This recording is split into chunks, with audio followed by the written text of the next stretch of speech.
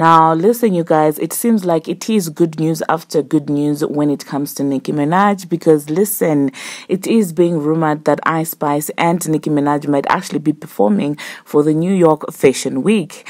And at the same time, Lil Kim graced the cover of Ebony, and it seems like Facetune had some words for her.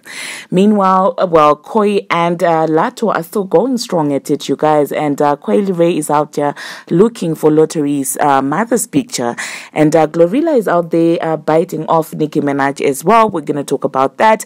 Iggy Azalea has got a, a remix coming for Money Come. Hello, tea lovers, and welcome to the tea plug. I trust you guys are doing well, and I trust you're doing great. Personally, I am doing great, you guys. Um, now, without further ado, let us dive straight into today's team. So, first of all, we're going to talk about Nicki Minaj and Ice Spice. Now, you guys lately you have been seeing Spice, you have been saying, "Oh my God, Ice Spice is moving shady" and things like that. But now um, now that Nicki Minaj has been confirmed to actually come to the VMAs, um, there are speculations that she might actually bring out Ice Spice and they may perform uh, Princess Diana and Barbie World together. And uh, at the same time, you guys, now the streets are saying that the two of them might actually be performing for New York Fashion Week as well. And I'm just like, well, 2023, this is exactly how you own a year, okay? From basically that deal uh, with COD coming out, you're hosting the VMAs by yourself um, from there and actually moving on to performing at New York Fashion Week. This is winning in capital letters, okay? So if that is indeed true, congratulations to Nicki Minaj for that. And uh, moving on to the next thing that I'm going to be talking about. Yesterday, I did a video about uh, Karen and, um, I'm sorry, not current, lottery ticket. lottery ticket, uh, as Ashley would say, and of course, Coi Leray um, seem like they have a beef going on now. Whether this beef is real or if they're just acting to get a little bit of attention, well, they know best, okay? But basically, the history between the two of them, just for those of you who do not know how all this started. Uh, so basically, lottery name dropped Coi, basically insinuating that she has a blonde as big as, uh, you know, Coi Leray, and uh, seeing how. Um, can I say small? Um, that I don't know if it's it's if it's polite for me to say that she's small, but she's petite. Yeah, I think petite is the word, is the polite word. Because listen, we may joke about everything else, but like we're not gonna play about somebody's natural body like we, we just don't do that. So seeing that Coi Leray is petite in a way, uh, of course that did not sit well with um, you know Coi Leray because she was like, okay, how can you be saying that blunt as big as my body? Are you saying that the blunt is tiny? What exactly are you saying?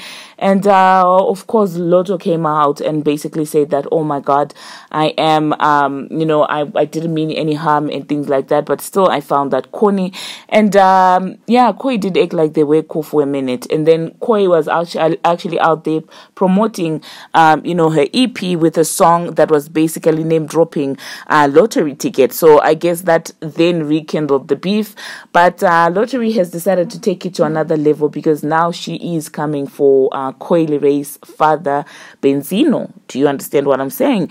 Um, she's literally coming for his name, his neck, like literally his neck you know i'm not even not literally isn't no she's coming for benzino's neck and so that seems to be an issue with Coi as it should because I mean listen we can play around all day and we can diss each other but like don't be bringing my parents in there. And I did see some people saying oh my god it's not like Coi even likes her dead and things like that. And I'm like listen I can cuss out my family however I want to but that does not give you any right to disrespect them just because of an issue you have with me. Do you understand what I'm saying? And uh lottery ticket at this point if this beef is not staged. I'm just looking at her like, is everything okay at home? Like, what's happening, okay? How's, you know, 21 Savage doing? Like, is he treating you good? Because listen, this is mad crazy in my own opinion, okay? If this is not staged, it's wild you understand what I'm saying? Just basically coming for somebody's father because you guys have issues. And she even said in, an, in a live uh, video because people were like, well, technically Benzino does not have a neck, so what are you trying to say? It's not making sense. And she sat down and tried to explain it, which I still find corny. But it seems like Coi Leray is not having it because she was on Twitter and uh, she basically said, can anyone give me a pic of Karen? And by Karen, she basically means Lottery's mother because you do know that uh, she is, um, you know, YT.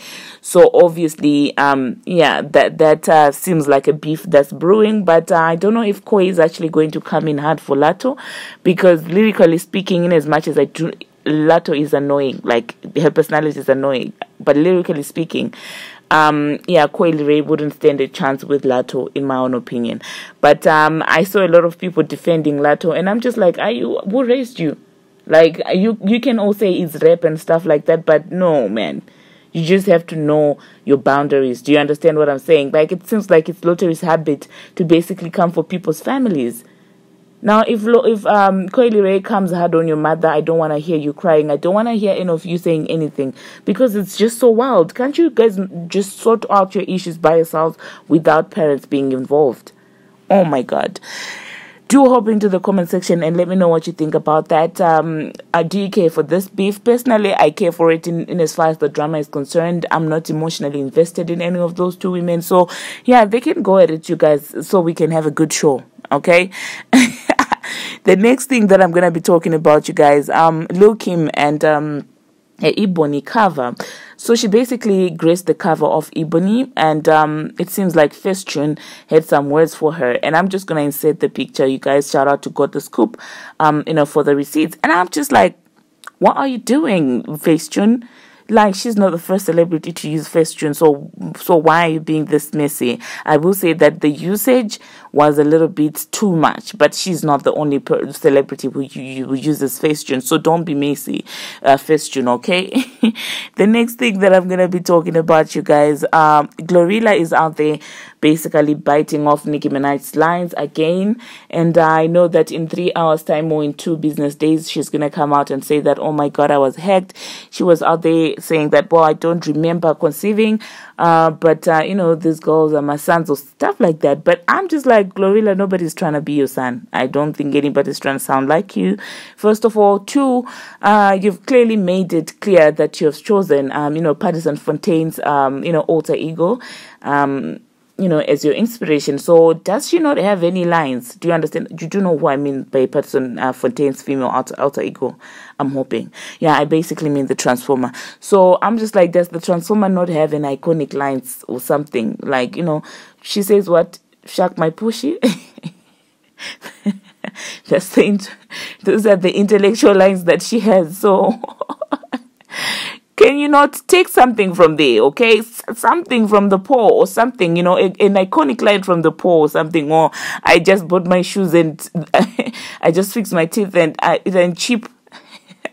such a such an iconic great line. Why can you not take that glory and leave Nicki Minaj out of your life? The next thing that I'm gonna be talking about, you guys, Iggy Azalea and Money Come, okay? So she just announced that she has a Money Come remix on it, and of course, people are like, "Who's gonna be there? Is Nicki Minaj gonna be there? Who is who? Like, you know, which girl is gonna be there?" I know it's not the Transformer because she said that she was not gonna be doing any collaboration, so I don't think it is the Transformer. And but then again, it's her, you guys.